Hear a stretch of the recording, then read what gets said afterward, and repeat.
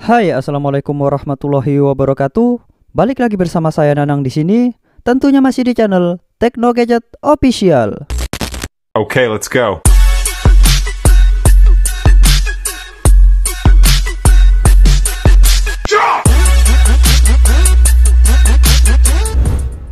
Oke teman-teman, di video kali ini saya akan mereview kembali config terbaru dari Gcam LMC 8.4 by Hasli, yaitu config iPhone Color Stabilizer. Seperti biasa, di sini saya akan mereviewnya menggunakan HP kesayangan saya, yaitu HP Poco X3 NFC. Dan jangan lupa kalian harus simak video ini hingga selesai, karena di dalam video ini terdapat fastpot atau kata sandi untuk membuka file ekstra config-nya. Dan seperti biasa pula, sebelum saya mereviewnya, saya akan membuatkan tutorial step by step cara penginstalan aplikasi Gcam dan pemasangan config-nya. Ini untuk mengantisipasi bagi pemula yang baru ingin menginstal aplikasi Gcam-nya. Oke baiklah sebelum kita ke tutorialnya jangan lupa subscribe channel ini dan nyalakan tombol loncengnya agar kalian tidak ketinggalan update video terbaru dari channel ini nantinya. Terima kasih untuk waktunya langsung saja kita ke tutorialnya.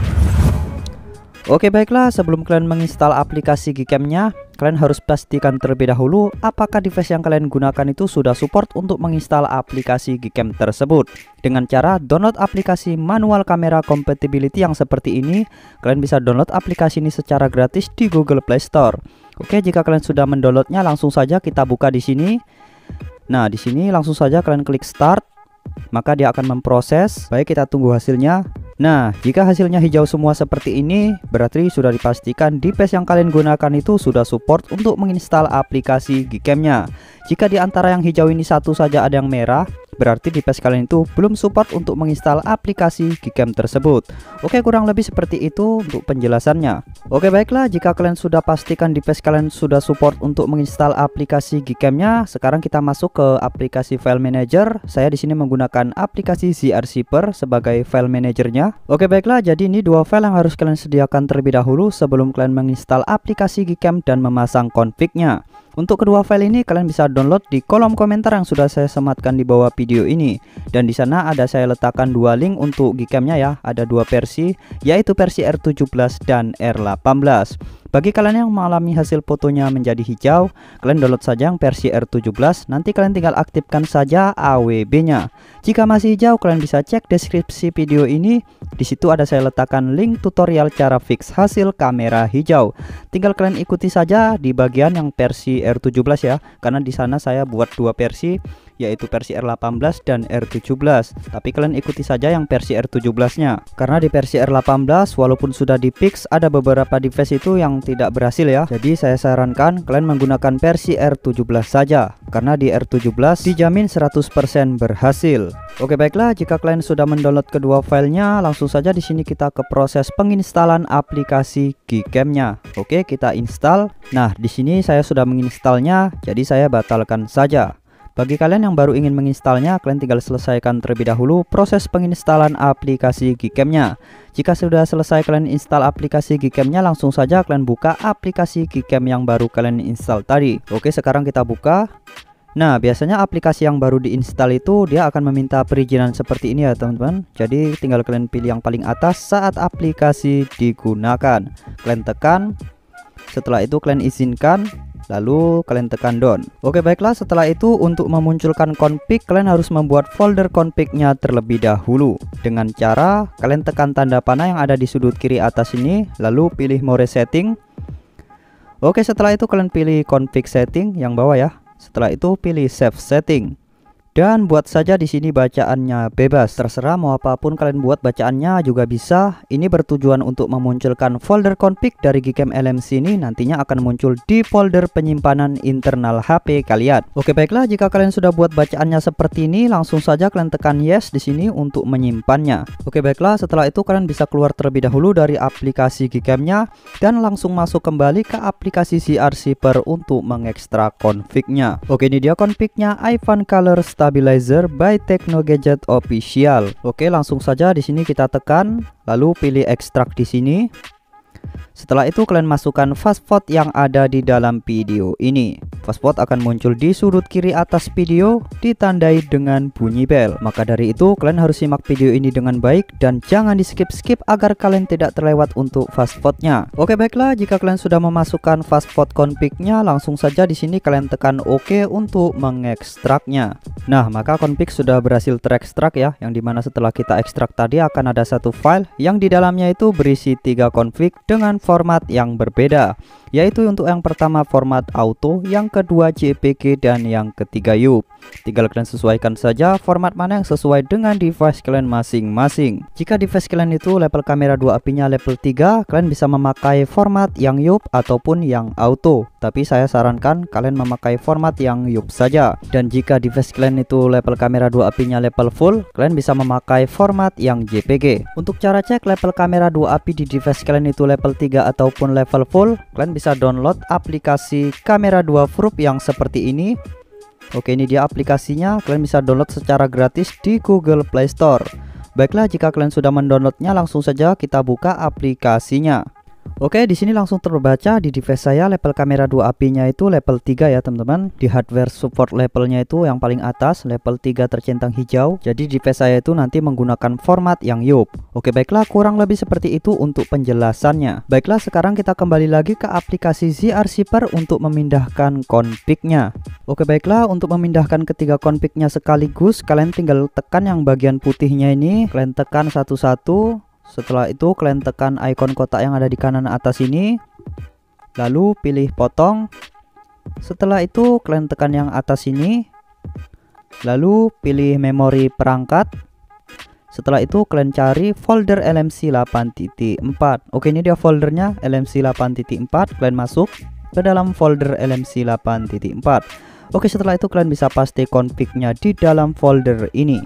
Oke baiklah. Jika sudah kalian bisa langsung masuk ke aplikasi Gcam-nya. Oke ini dia aplikasi Gcam-nya. Saya menggunakan versi R18 Nah untuk memunculkan config kalian tinggal ketuk dua kali di bagian yang hitam ini ya. Kalian ketuk dua kali Nah, maka config sudah muncul ya. Tinggal kalian pilih confignya sesuai dengan level kamera 2 api kalian masing-masing. Tadi saya sudah cek level kamera 2 api saya itu level 3, jadi saya memakai format yang YUP.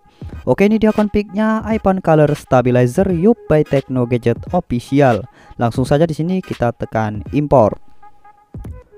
Oke, baiklah config sudah berhasil terpasang dan langsung saja saatnya kita review.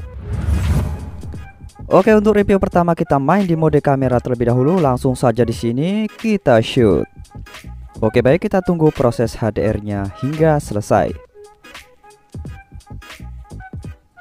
Oke baik dan kurang lebih seperti ini hasil dari config iPhone Color Stabilizer di mode kamera untuk kedetailan yang dihasilkan ini benar-benar mantap tajam namun tetap aman untuk exposure-nya walaupun hasilnya sangat cerah namun tetap aman ya untuk bagian langitnya itu masih terlihat dengan jelas di sini. Dan untuk tone warnanya ini berbeda dengan config cemerlang sebelum-sebelumnya itu yang warnanya itu ciri khasnya cerah dan oversaturasi. Namun di config kali ini kita tidak oversaturasi ya teman-teman. Jadi warnanya itu tetap stabil dan enak untuk dilihat.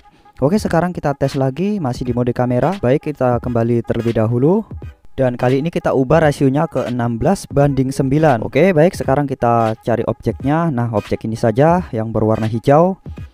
Oke baik. Kita fokuskan langsung saja di sini kita shoot.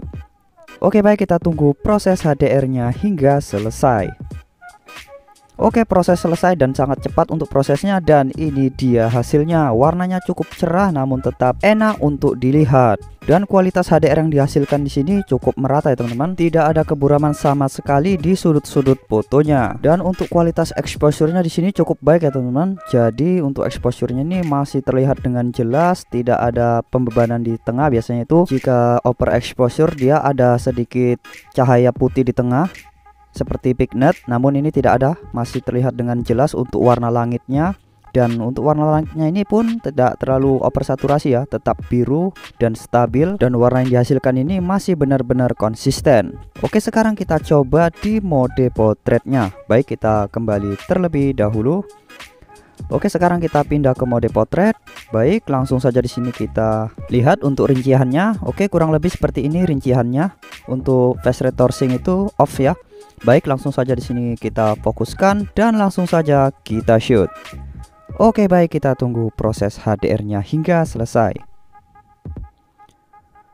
Oke baik proses selesai dan kurang lebih seperti ini hasil dari config iPhone Color Stabilizer di mode potret menghasilkan tone warna yang benar-benar natural ya. Mantap sekali untuk warna hijaunya ini tidak ada oversaturasi sama sekali. Dan untuk skin tone kulit manusianya ini cukup keren mantap tidak merah dan tidak terlalu pucat. Dan untuk bokeh yang dihasilkan di sini cukup rapi ya walaupun ada sedikit celah di antara tangan tersebut namun bokehnya masih rata dan rapi. Tidak ada keburaman atau kebocoran bokeh di sini. Oke, kurang lebih seperti ini hasil dari config iPhone Color Stabilizer di mode potret. Sekarang kita coba lagi. Oke, kita kembali. Baik, sekarang kita coba di posisi seperti ini. Oke, langsung saja di sini kita shoot. Baik, kita tunggu proses HDR-nya hingga selesai. Oke proses selesai dan ini dia hasilnya cuy. Keren sekali. Untuk bokehnya masih konsisten ya. Tidak ada kebocoran bokeh di sini atau kebocoran blur. Warnanya pun tetap enak natural dan cerah. Bisa dilihat dari warna hijaunya ini benar-benar adem. Dan warna langitnya pun masih stabil. Oke sekarang kita coba di mode kamera ultrawide nya Oke baiklah. Sekarang kita sudah berada di lensa ultrawide ya di mode potret. Langsung saja di sini kita tap dan langsung saja kita shoot. Oke baik kita tunggu proses HDR-nya hingga selesai.